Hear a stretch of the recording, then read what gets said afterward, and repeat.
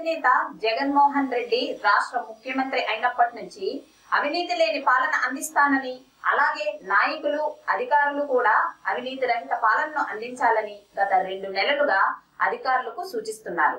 కానీ అందుకు విరుద్ధంగా ఉంది గాజువాక నియోజకవర్గంలోని పరిస్థితి.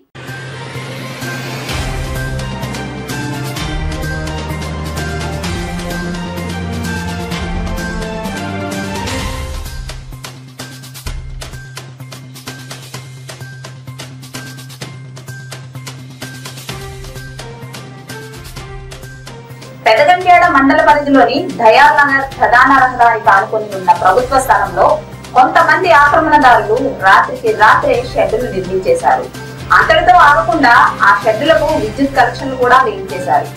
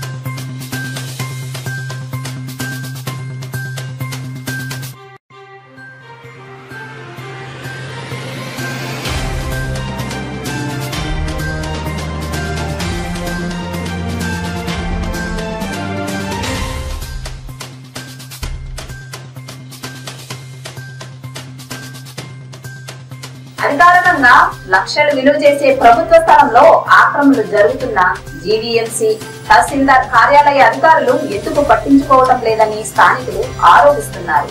సంఘటన జరిగి నేటికి వారం రోజులు గడుస్తున్నా అధికారులు తప్పించుకునే ప్రయత్నం చేస్తున్నారు. ఈ ఆక్రమణలకు తొలగించకుండా ఎందుకు మద్దతు పలుకుతున్నారో తెలియటం లేదు.